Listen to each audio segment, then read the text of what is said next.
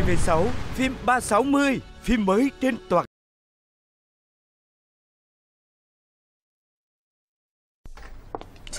Ngồi đi. Tìm tôi có việc gì vậy? Giám đốc Lịch Công ty chị đẹp thật đấy.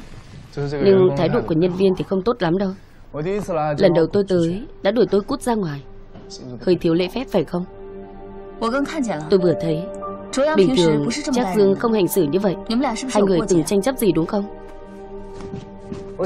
Tôi đoán cậu ta định chút giận giúp bạn của mình đấy. Nói thật với chị Hôm qua tôi vừa đánh nhau với Lâm Hòa Bình. Hai người không còn là trẻ con mười mấy tuổi Sao vừa gặp đã đánh nhau? Vì nam sinh à? Có cần phải vậy Vì một người đã mất không? Không cần vậy sao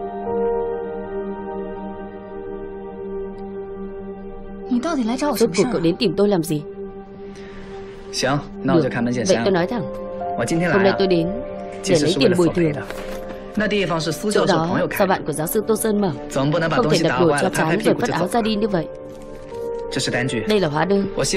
Tôi mong chị đưa cho Lâm Hòa Bình xem. Tổng cộng là 35.400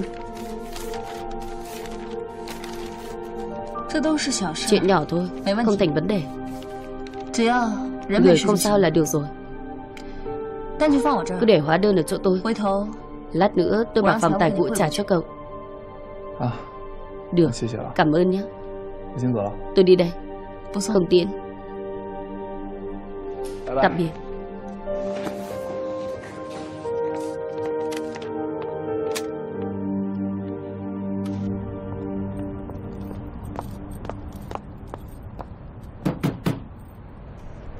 Anh Ben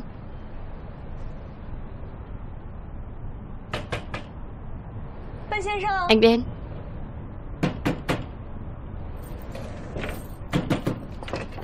Anh Ben Ben Đừng gõ cửa nữa. Không có ai mở cửa đâu. Căn nhà này sắp bị dỡ Người ở đây đã chuyển đi lâu rồi. Chuyển đi rồi ư? Cô có biết anh ta chuyển đi đâu rồi không? Tôi có việc quan trọng cần tìm anh ta Mà không liên lạc được. Cái này tôi không biết.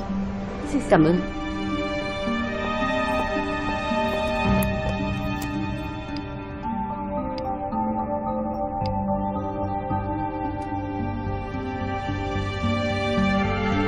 Alo, Tiểu Trương. Cha giúp tôi phòng làm việc của đạo diễn Trinh ở đâu?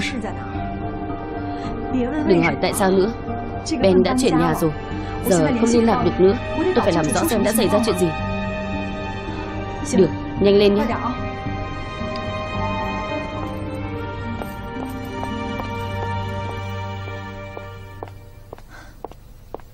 Cô Đông Nghiêm. Gặp được cô cũng không dễ nhỉ. Chủ tịch Lịch Sao lại vậy chứ cô Đông Nghiêm Để anh đợi lâu rồi Tôi xin lỗi。Nghe nói mấy ngày nay cô chơi trò mất tích Nhân viên của cô cũng không làm việc。Tìm cô khắp nơi。Hôm nay Lâm Hòa Bình lại nghỉ bệnh。Công ty các người có muốn làm nữa không vậy？Cô Đông Nghiêm Đây là chuyện thỉnh thoảng mới vậy thôi。Tuyệt đối sẽ không có lần sau đâu A Lịch, tôi nói cho cô nghe. Đừng để xảy ra sai sót gì cả. Cô làm tôi thất vọng hết lần này đến lần khác. Cô biết hội đồng quản trị sẽ không dễ tha thứ cho cô như vậy không? Nếu không phải vì để mặt Lâm Hòa Bình. Họ đã chẳng đầu tư vào lịch bình các. Giúp các người ra mắt thị trường. Theo ý của cổ đông Nhiên Tôi ngày ngày làm việc bất kể ngày đêm mà với hội đồng quản trị tôi chỉ là kẻ vô dụng sao? Tôi chỉ muốn nói thẳng cho cô biết Hội đồng quản trị muốn Lâm Hòa Bình Thay vị trí chủ tịch của cô từ lâu rồi. Ai nói muốn thay tôi? Tất cả thành viên hội đồng quản trị. Sao nào? Cô muốn đến đôi co với từng người sao? A Lịch Tôi mong cô hãy làm tốt chức trách của mình Và xử lý gọn gàng mọi chuyện trong công ty Cô tự xem mà làm đi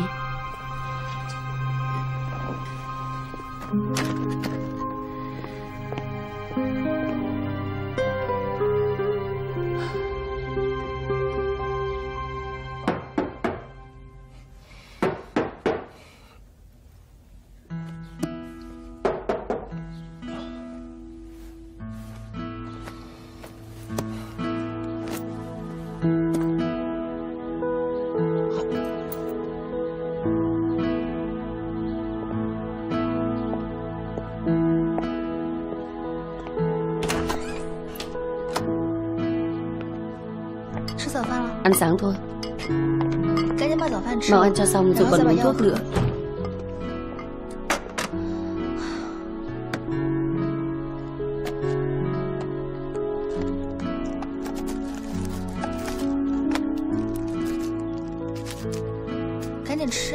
Ăn nhanh cho nóng.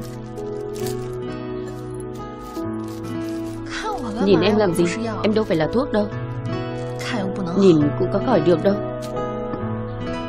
Ăn mau lên Lát nữa em còn có việc.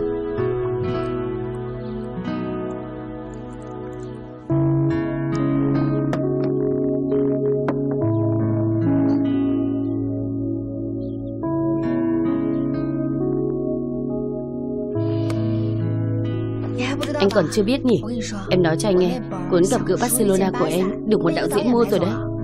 Anh ta nói muốn chuyển thể thành phim Có tuyệt không? Thật sao Chuyển thể thành phim. Vậy anh đào được mỏ vàng rồi ạ. Mỏ vàng gì chứ? Xem này Em chính là mỏ vàng đó. Em nói cho anh biết Anh bớt tự rát vàng lên mặt đi. Vốn là vậy mà. Nhìn này Thật ra anh phát hiện ra tài năng của em lâu rồi. Nên mới giữ em lại trong nước Không để em đi. Nếu không em lấy đâu ra cơ hội đó đúng không?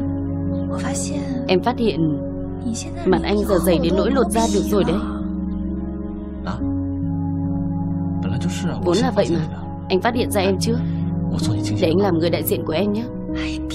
Đừng nói linh tinh nữa. Em đi đây Ăn nhanh lên nhé.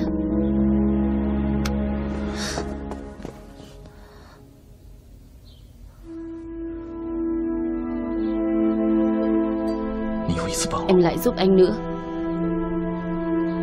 Nếu thích anh thì cứ nói đi.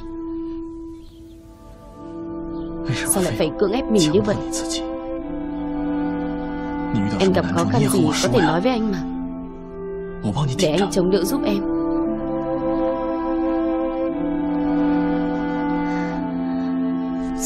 Sao lại thế được? Không được.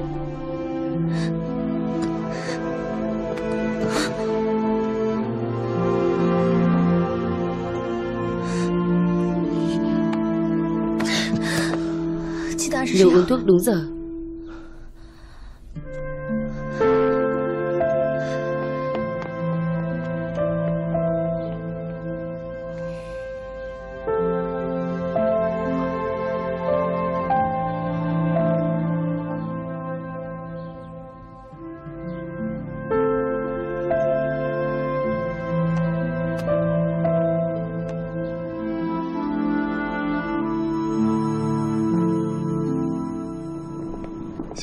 Dậy rồi à? Ăn sáng đi rồi hãy đi làm. Không cần đâu, Tôi đến công ty ăn. Cậu qua đây. Tôi có chuyện muốn nói với cậu.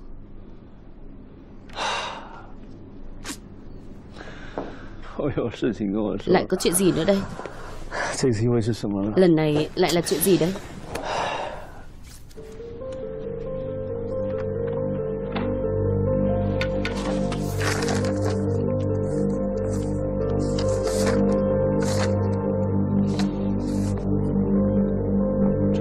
Đây là gì? Đây là gì?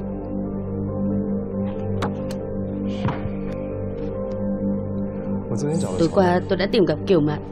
Thái độ của cô ấy về chuyện này Cởi mở hơn cậu nhiều.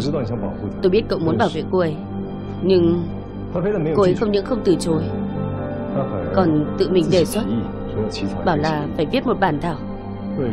Sao anh lại không dám quang minh chính đại? Sao lại nhân lúc tôi không ở đây? Sao anh lại không dám nói với tôi? Rồi mới làm. Tôi chưa nhắc cậu sao? Tôi chưa bảo cậu làm thế à? Thế cậu đã làm chưa? Chưa. Nên tôi đành phải đích thân tìm gặp Kiều Mạn Anh thấy cái cớ này nghe có lọt tai không? Tôi chỉ mong cậu đặt lợi ích của gia tộc lên trên bản thân. Cậu muốn kết hôn với Kiều Mạn cũng được Nhưng đây là thủ tục phải làm. Lợi ích gia tộc. Anh cả Em trai Tôi có trình tự của riêng tôi.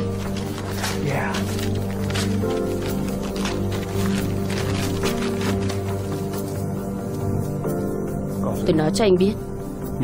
Nếu anh còn dám can dự chuyện giữa tôi và Kiều Mạn Tôi sẽ không đặt chân vào cái nhà này nữa. Sao cậu vẫn chẳng chịu trưởng thành gì cả? Bao giờ thì cậu mới lớn được đây? Cậu muốn đi à?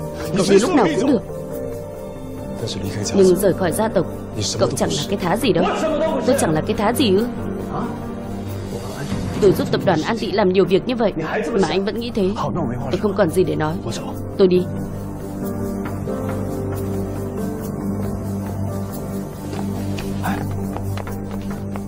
Chị làm gì vậy? Chị phải xem có chuyện gì chứ. Chị có ngốc không vậy? Để họ tranh cãi nhau. Chúng ta mới đục nước béo cò được chứ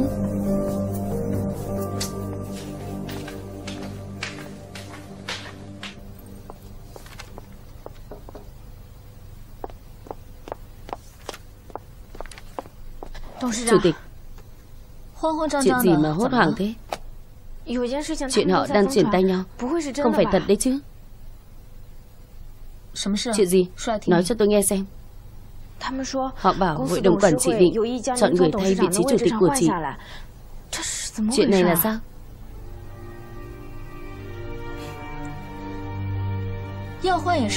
Thay thế tôi mà. Cô lo lắng gì chứ? Sợ bị liên lụy à không, không phải vậy. Tôi thì sao cũng được.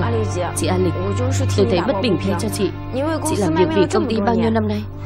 Có những lúc tăng ca quên cả ăn cơm. Sao bọn họ lại vô tình như vậy? Cô làm tốt Làm đúng chức trách. Chẳng ai khen cô cả.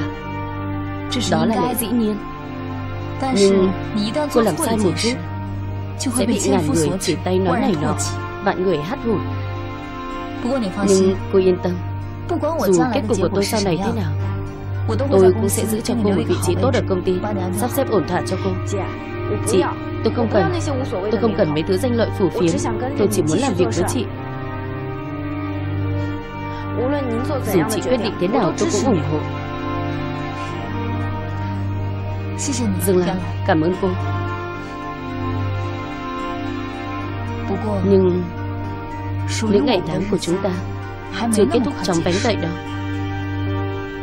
Dù nói thế nào Những năm nay tôi cũng bận bịu vì công ty. Cũng kiếm được không ít tiền cho hội đồng quản trị. Trong lòng họ nên hiểu rõ.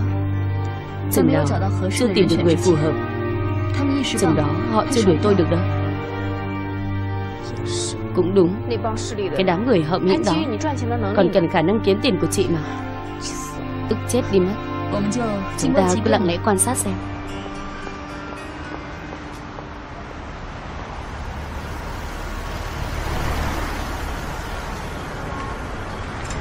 Tiểu Phi Sao cô lại ở đây?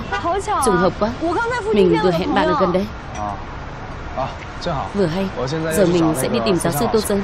Đi cùng nhé Không được Tòa soạn còn nhiều việc Mình phải về xử lý. Mấy chuyện vặt vãnh đó cứ để sang một bên. Vội gì chứ? La Thần. Cậu nghĩ mọi người đều giống cậu à? Chỉ biết cùng hắn xâm nhận việc riêng ở ngoài. Nếu không nhờ mình giúp Cậu đã mất việc ở tòa soạn rồi đấy. Mình nhận thêm việc là vì gì mình làm vậy là để sau này chúng ta kết hôn. Có thể sống tốt hơn thôi. Chỉ dựa vào chút lương ở tòa soạn. Sau này chúng ta làm được gì chứ? Mình không muốn thua kém ai cả. Câu nói cuối cùng đó mới là tiếng thật lòng của cậu phải không? Không có tiền Không được kết hôn à? Cậu vẫn muốn so với Lâm Hòa Bình phải không? So hơn kém với anh ta thì sao? Không nên à? Được Tùy anh thôi. Taxi Hà Tiểu Phê Mình đang nói chuyện với cậu đấy Em đi trước đây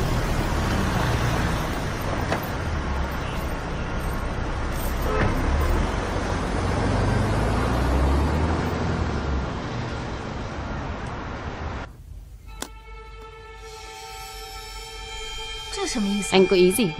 Chỗ này đủ để mua ngọn hải đăng bị ngạn chưa?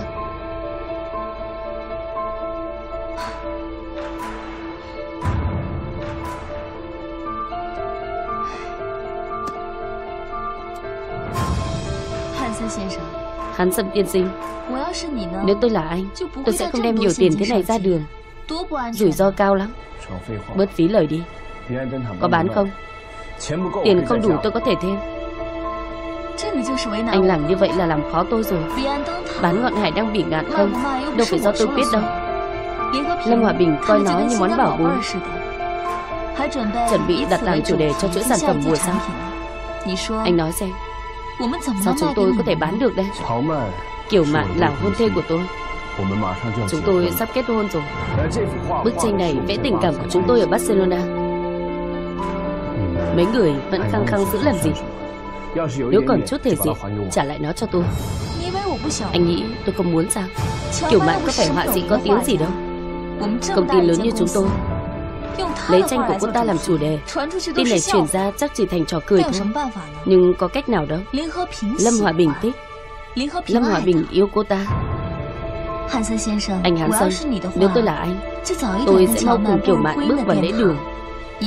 Tránh đêm dài lắm mộng. Tôi và Kiều Mạn chắc chắn sẽ kết hôn.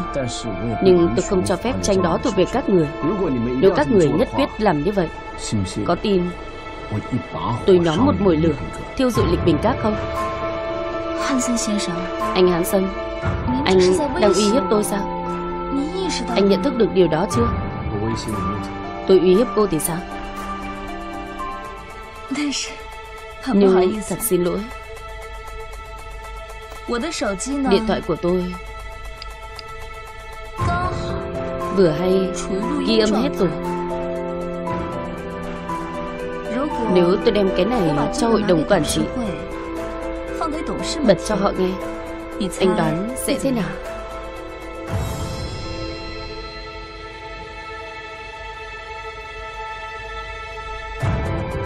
Lâm Hòa Bình và hội đồng quản trị Lịch Bình Các Tất cả nghe rõ cho tôi. Kiều Mạn là vợ tương lai của tôi. Ai dám có ý gì với cô ấy? Ai dám lấy ngọn hải đăng bỉ ngạn Chế tác tác phẩm nghệ thuật? Tôi sẽ coi như đang quyến rũ vợ tôi. Tôi nhất định sẽ đánh gãy răng hắn Hắn dầm tôi. Nói lời giữ lời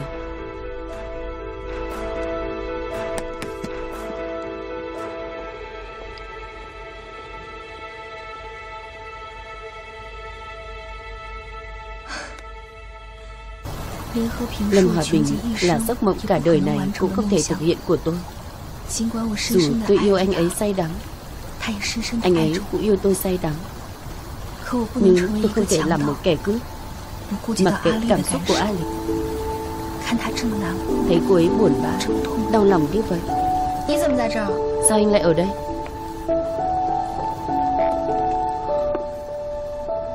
Anh có đồ muốn tặng cho em? Không duyên không cớ Tự dưng tặng em gì vậy.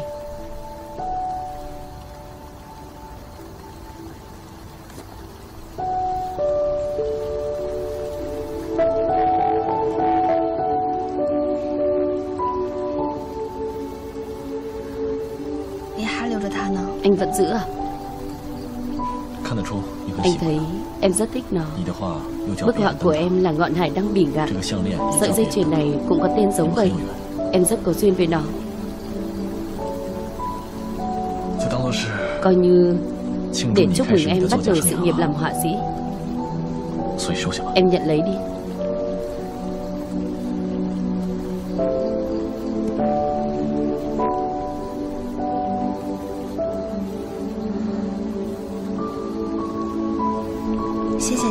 Cảm ơn anh. Phải rồi. Lúc nào em đến chỗ đạo diễn đi. Nếu có tin vui nhớ báo cho anh nhé. Ai biết được Em có tham vọng thế này. Có khi vừa nhận chức đã bị chửi mắng. Thêm nữa Hôm nay em còn bị cho leo cây. Bảo em đến thẳng phòng làm việc luôn. Ai biết được sau này sẽ thế nào Cứ thoải mái đi. Nó sẽ đem lại vận may cho em. Cảm ơn anh. Lâm Hòa Bình Chúng ta đường ai nấy đi thôi. Em với Hán Sơn. Anh với A Lịch. Đó mới là cuộc sống. Chúng ta được sắp đặt. Đây là các khoản bồi thường mà cậu nhắc đến Tôi bảo chị chuyển qua mà. Sao có thể phiền chủ tịch hứa đích thân đến? Không sao. Ngồi mãi ở phòng làm việc cũng không thoải mái. Ra ngoài vận động một chút. Cũng phải. Mỗi ngày đối mặt với người đàn ông mà mình thích Nhưng không thể có được. Đúng là rất buồn bực. Tôi có thể hiểu được. Cậu có ý gì vậy hả La Thần? Tôi có lòng tốt. đem tiền đến đây cho cậu. Cậu lại nói cạnh khóe. Đừng có trêu tức tôi Đừng có hiểu nhầm Là tôi muốn quan tâm chị。Tôi thấy giờ chị vẫn bận lòng vì chuyện của Lâm Hòa Bình。Tôi đang muốn hóa giải nỗi buồn cho chị đấy。Rốt cuộc cậu muốn nói gì？Tôi muốn nói。Nếu tôi có cách để chị và Lâm Hòa Bình bên nhau Chị có muốn vậy không？Cách gì Chị và tôi bắt tay nhau. Chị làm đối ứng cho tôi ở lịch bình các. Chúng ta cùng hợp tác để Lâm Hòa Bình sụp đổ. Khi cậu ta mất tất cả, Muốn tìm một chỗ dựa.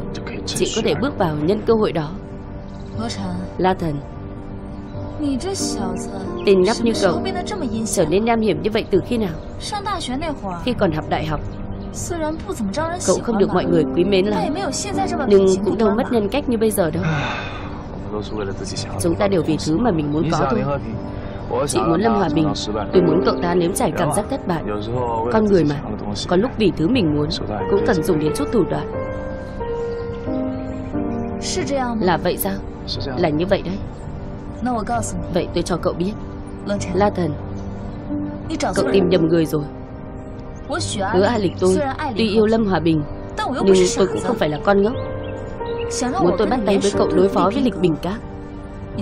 Cậu nằm mơ đi. Đâu phải chúng ta chưa từng hợp tác đâu. Khi tôi còn học đại học Chúng ta từng hợp tác. Giờ chỉ là hợp tác thêm lần nữa thôi. Khi còn học đại học Đó là vì tôi thấy cậu là bạn của Trăn Sinh. Tôi không mong giữa các cậu có mâu thuẫn. Nên mấy lần tìm cậu nói giúp. Nhưng giờ tôi nói cho cậu biết. Cậu đừng có mà được đằng chân lân đằng đầu. Kẻ nào muốn đối phó với Lâm Hòa Bình? Kẻ đó chính là kẻ địch của tôi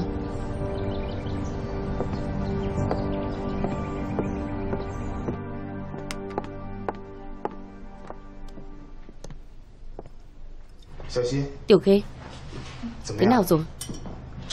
Tìm được người làm đại diện sách chưa? Chưa. Tôi đến nhà tên đó tìm Nhưng không thấy anh ta. Có lẽ hắn đã lừa tôi rồi bỏ chạy. Tung hứng cả hai đầu à? Một mặt anh ta bán bản quyền cho cô Mặt khác lại bán cho Đinh Chuyện này đúng là lừa bịp mà. Là do tôi lúc đầu quá dễ dãi. Tin tưởng anh ta Giờ không liên lạc được với anh ta nữa. Tôi cũng chẳng liên lạc được với tác giả cuốn sách. Anh xem lần này tôi phải làm thế nào đây? Cô đừng nóng vội Như vậy đi. Tôi sẽ nhờ bạn bè trong giới nghệ sĩ nghe ngóng giúp cô phòng làm việc của Dinh. Cảm ơn anh nhiều lắm. Lỗi là do tôi. Vốn là kinh phí mỗi năm của bộ phận phát triển chỉ có 2 triệu.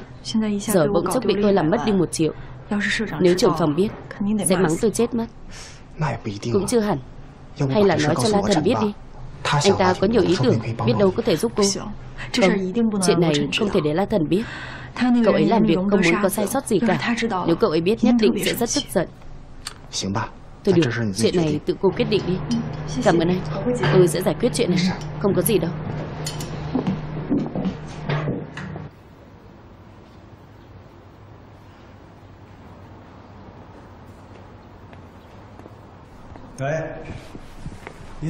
Sao cậu lại ở đây?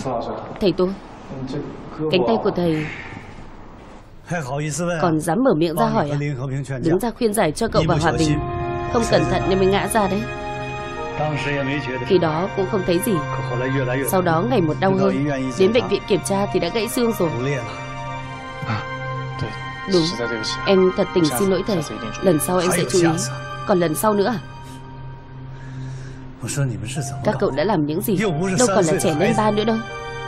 Vì một chút chuyện tình cảm nhỏ nhoi Hễ gặp mặt là đánh nhau. Không cần biết ở đâu Thời điểm nào. Ra tay ngay trước mặt Nóng nảy đến như vậy sao? Em biết em sai rồi. Đúng rồi thầy ơi. Thầy có thể xử lý chút việc bên công ty được không? Em đến đón thầy tham gia cuộc họp thiết kế. Không đi được rồi. Bác sĩ nói Tôi ít nhất phải nghỉ dưỡng 3 tháng Trong 3 tháng không được cầm bút hay vẽ tranh Đây là dụng cụ ăn cơm của tôi đấy Vì chút tiền đó, Tôi làm lỡ dở hết Đường công danh nghệ thuật nửa đời sau của tôi rồi Nhưng thầy xem, Công ty đang rất cần dùng đến bức bách Mỹ Thiên Kiều để làm sản phẩm cao cấp. Thầy lại không tham gia hội nghị đó. Vừa nãy trên đường, tôi đã nói chuyện điện thoại với Hán Sân. Ý anh ta cũng là tạm gác bách Mỹ Thiên Kiều, làm chủ đề sáng tạo tác phẩm. Có lẽ là có ý tưởng nào khác rồi. Ý tưởng nào khác ư? Anh ta nói giờ sẽ dùng phương án nào không ạ? Anh ta không nói Tôi cũng không hỏi nhiều. Với tình hình hiện tại còn có thể thế nào được nữa? Được rồi Tôi mệt rồi. Có chuyện gì thì cậu đi hỏi anh ta đi.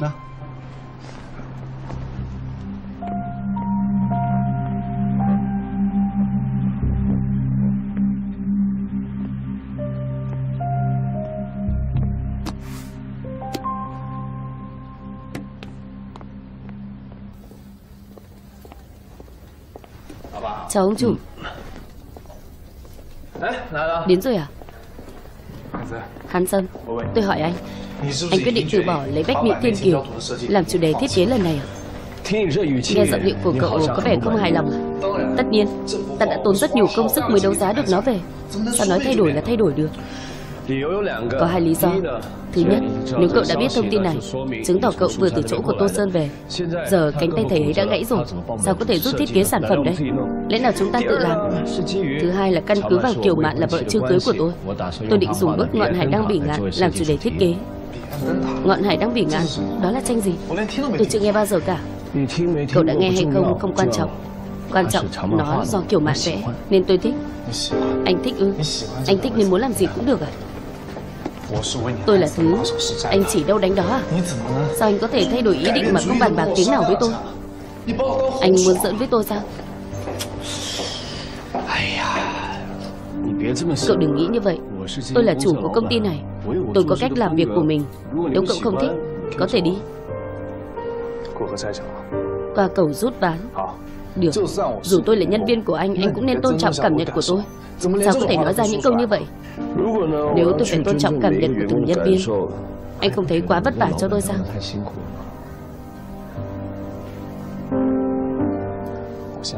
Tôi không muốn nói nhiều với anh. Anh tính toán công sức tôi đã bỏ ra đi. Tất nhiên, Cậu cũng đã vất vả bấy lâu nay. Lát nữa đến phòng tài vụ lĩnh đi. Đã chuẩn bị cả rồi sao? Anh cũng thủ đoạn lắm. Sau này xem anh sẽ phát triển thế nào.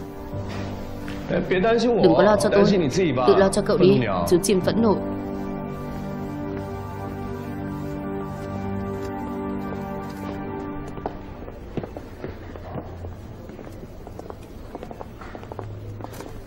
Giám đốc Lâm Chủ tịch đã về. Anh có biết không? Chắc Dương nói rồi. Lát nữa muốn học cổ đông. Không biết chuyện gì mà lại gấp như vậy. Cậu đi chuẩn bị đi. Vâng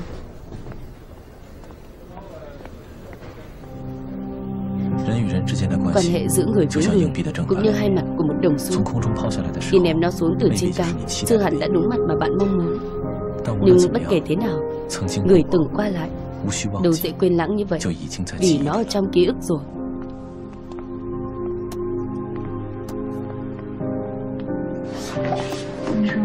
Nam sinh à Người vừa nãy Không phải là anh cậu sao? Sao cậu lại đối xử với anh ta như vậy? Vốn là anh ấy không đúng nhưng dù gì cũng là người thân của cậu. Hay cậu gọi điện cho anh ấy đi. Mình không gọi đâu. Anh ấy dù gì cũng không được đánh nhau ở trường. Vốn do anh ấy sai trước Sao lại là mình gọi cho anh ấy? Còn không phải là vì người ta thích cậu sao? Cậu đừng nói linh tinh. Mình đâu có nói linh tinh. Mọi người đều có thể nhìn ra anh trai thích em gái cũng vẫn là thích. Nhất định anh ấy biết La Thần thích cậu, Công khai thể hiện thích cậu, Nên mới tức giận đến vậy. Mới đánh nhau với La Thần chứ. Có cơ hội mình sẽ giải thích với anh ấy.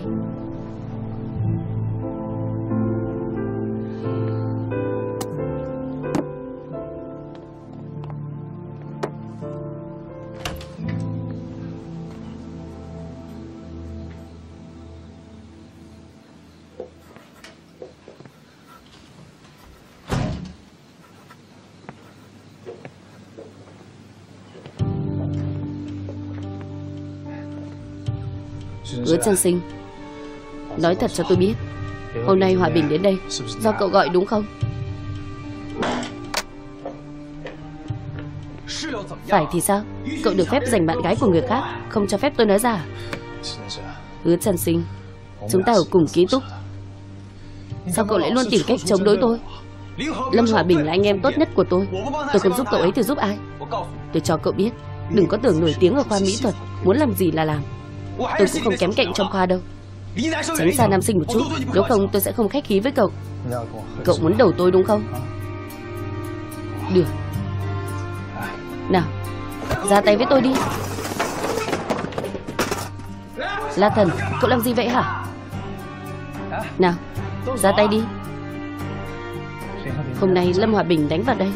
Đây, Đánh bên này đi. Đánh tôi đi, Buông ra.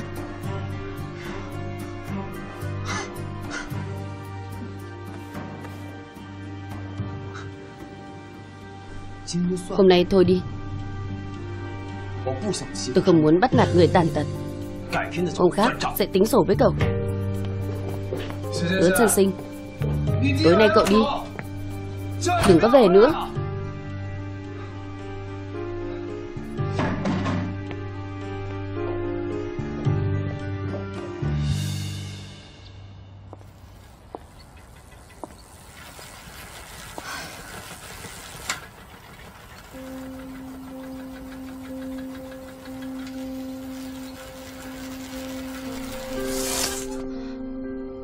Chị A Lịch, cậu đi đâu vậy? Cả tối qua gọi không thấy nghe máy. Đập cho La Thần một trận. La Thần là ai? Sao lại đánh nhau với người ta? Chị đừng hỏi nữa. Thằng đó đáng ăn đòn. Có phải là vì nam sinh không? Đừng hỏi nữa. Phiền lắm. Được thôi tôi không hỏi nữa. Nhưng cậu muốn đánh nhau cũng không nên đánh nhau ở trường. Cậu có nghĩ làm vậy sẽ làm phiền nam sinh không? Được rồi Tôi sẽ chú ý Được rồi Nói cho cậu nghe một chuyện vui Chuyện nhà xưởng đã lo xong rồi. Trợ lý của trưởng phòng mã đã đồng ý cho chúng ta dùng máy móc ở nhà xưởng. Thật sao? Vậy tôi sẽ mang hàng đến đó luôn. Đừng vội. Tôi đã nói với họ Sáng sớm mai sẽ mang qua đó. Cũng được. Nhưng tính cách này của cậu Phải thay đổi rồi đấy Độc tí là đánh người。Đây là xã hội nguyên thủy à？Làm người ta bị thương cũng để mình bị thương Quan trọng hơn là cậu khiến người quan tâm mình。Cũng lo lắng cho mình。Được, tôi sẽ nhớ Được rồi, tôi đi trước đây Được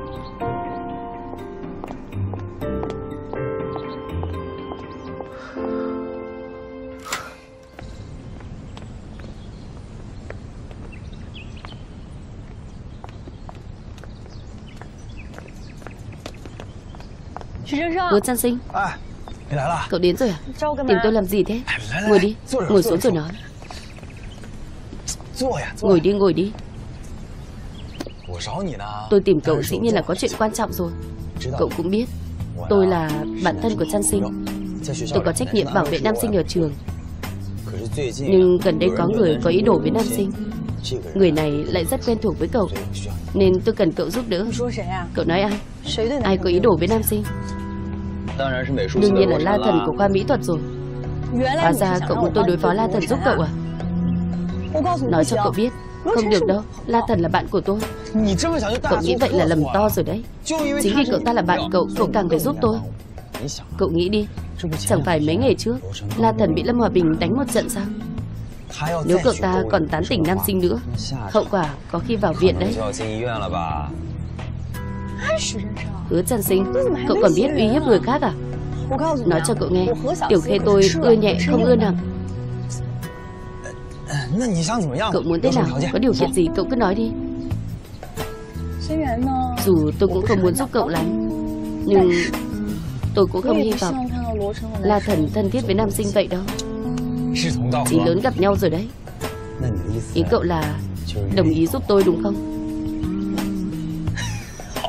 Được Cậu cũng phải đồng ý với tôi. Cậu không được lỗ mãng. Cậu yên tâm. Tôi hứa sẽ không làm gì quá khích đâu. Chúng ta coi như là đồng minh rồi nhé Đồng minh. Được. Vậy thì sau này Cậu cứ trông chừng cậu ta. Có vấn đề gì cứ nói với tôi. Tôi sẽ nghĩ cách. Có gì nhất định nói với cậu. Được. Vậy tôi đi trước đây. Được. Tạm biệt. Tạm biệt Tạm biệt nhé. Tạm biệt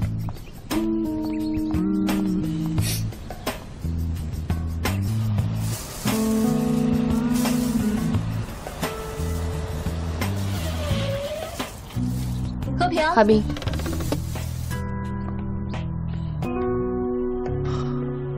Chị A Lịch Sao chị lại ở đây? Tôi đang đợi cậu đấy. Chưa ăn sáng đúng không? Mới sáng. mẹ tôi đã mắng về chuyện tôi không đi học. Nên tôi phải mau chuồn ra ngoài. Không muốn nghe mẹ cảm giảm nữa. Đây. Mau uống sữa đậu nành đi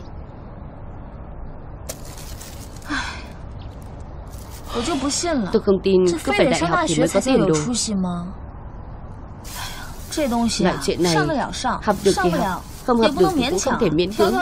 Mọi con đường đều dẫn đến thành Rome Đúng không? Hòa Bình Ăn bánh bao đi nào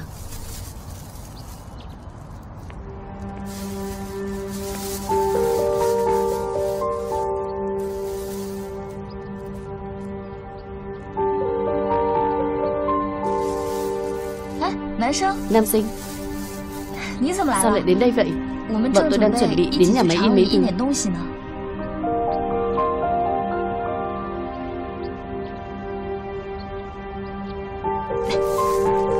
Sao cậu lại không nói gì với nam sinh? Đi thôi. Chờ đã. Hòa Bình. Anh không bị thương đấy chứ? Hôm qua đúng là em nói hơi quá đáng. Nhưng em tuyệt đối không có ác ý đâu. Chẳng phải là em thích La Thần sao? Đúng, Người của khoa mỹ thuật đều rất xuất sắc. Vậy em thích cậu ta đi. Anh đừng nói chuyện quá đáng như vậy. Nếu anh thấy mình không làm sai điều gì cả anh cứ tiếp tục đánh nhau đi.